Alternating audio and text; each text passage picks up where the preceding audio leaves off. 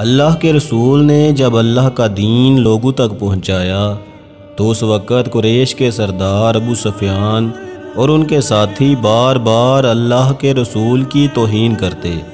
तो अल्लाह ताला ने अपने रसूल को हुक्म दिया कि आप हिजरत करें। जब अल्लाह के रसूल ने मक्का से मदीना की तरफ़ हिजरत की तो आप सल्लल्लाहु अलैहि वसल्लम मदीना में अल्लाह के दीन को फैलाने लगे।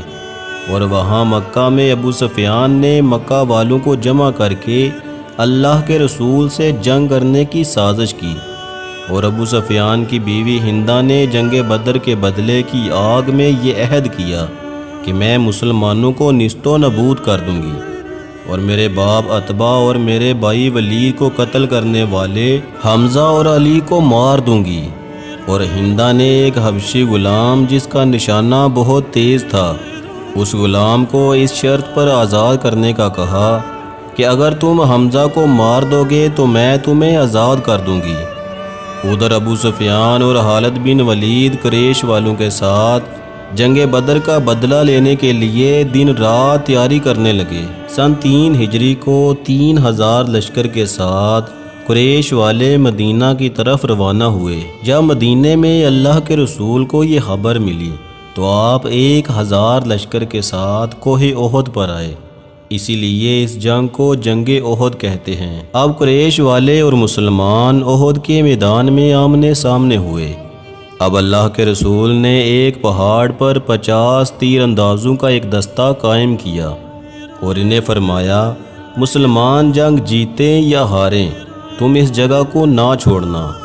कोई भी सहाबी शहीद हो जाए या गाजी हो जाए, पर तुम इस जगह को ना छोड़ना। उधर क्रेश वालों ने हमला कर दिया और जंग शुरू हो गई। कहीं जनाब हमज़ा की तलवार चली तो कहीं मौला अली सलाम की तलवार चली।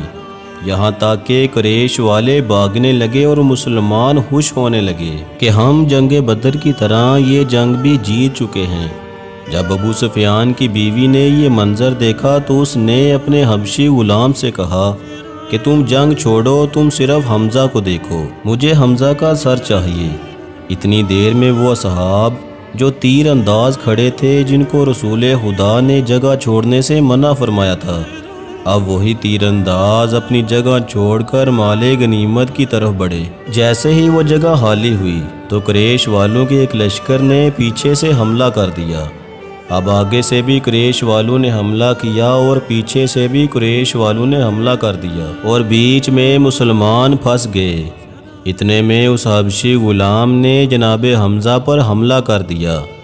जनाब हमज़ा का ज़मीन पर गिरना था कि मुसलमानों में शोर मच गया कि हमज़ा शहीद हो गए।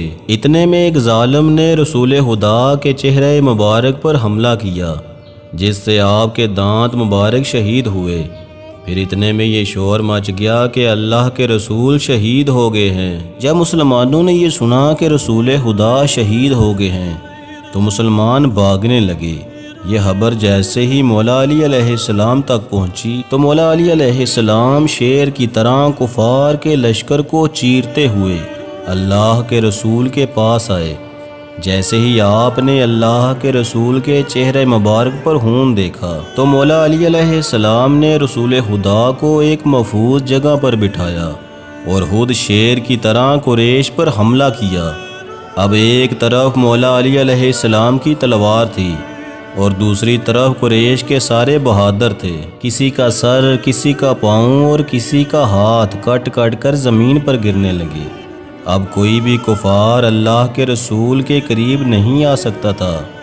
जंग करते करते मौला कायनात अमीरमिन सलाम की तलवार टूट गई। जैसे ही मौला सलाम की तलवार टूटी तो मौला सलाम ने रसूल खुदा के चेहरे मुबारक की तरफ़ देखा।